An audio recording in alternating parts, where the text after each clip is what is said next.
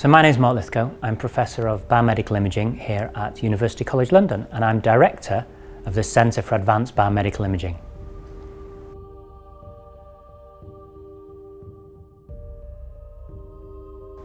I think for me one of the, perhaps one of the most remarkable aspects is we are right in the heart of London. Only two or three hundred metres away are all the shoppers coming up and down Tottenham Court Road.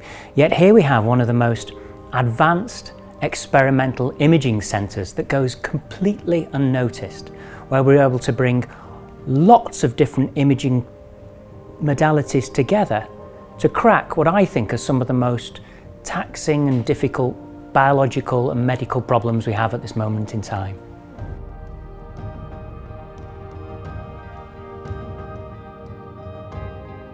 With 50 people in the department, it would take me probably a couple of hours to go through all the projects. But if I can pick perhaps some of my favourites, and not because these are the hardest, they're just some that I've enjoyed over the years.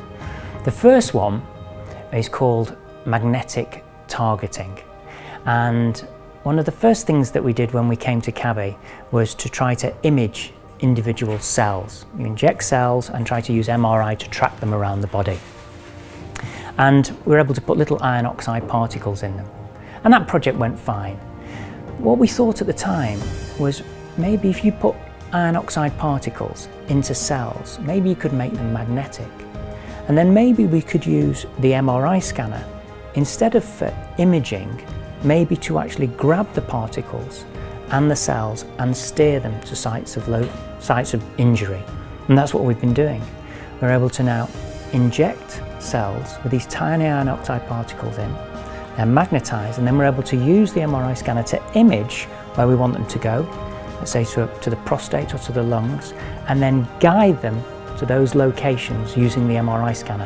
And that gets you thinking about imaging in a completely different way, not just as an imaging tool, but now as an interventional stroke surgical tool. And I like that just because it twisted the imaging around for me again. It was just a different way of thinking about an old problem that we had. The other two projects that I like are, are more recent. Uh, one, because MRI isn't particularly sensitive, is the truth of it, and it's not very good at looking at individual molecules. So it's always a challenge for us. It's very good at structure and function to some degree.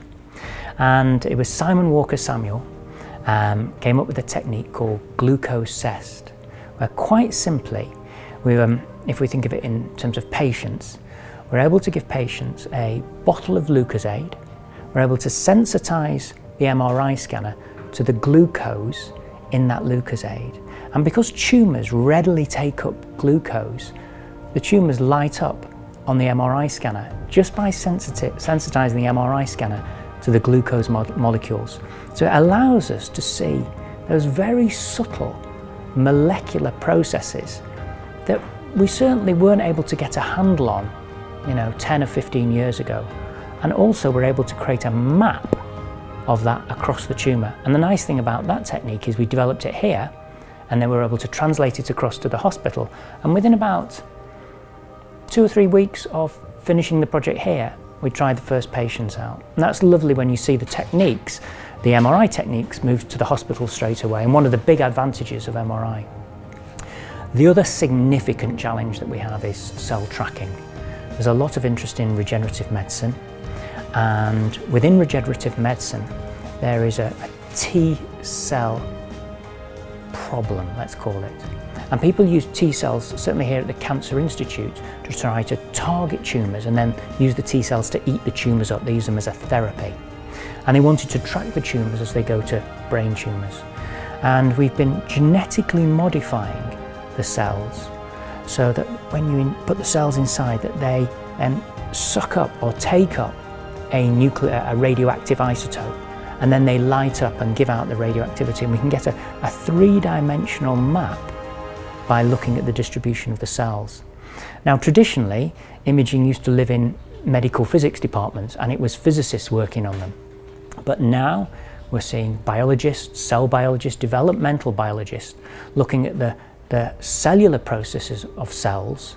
And it's those are the advances that are really enabling imaging to move on in a way that we hadn't thought of, partly because we're interacting with disciplines again that wouldn't have normally come into an imaging department.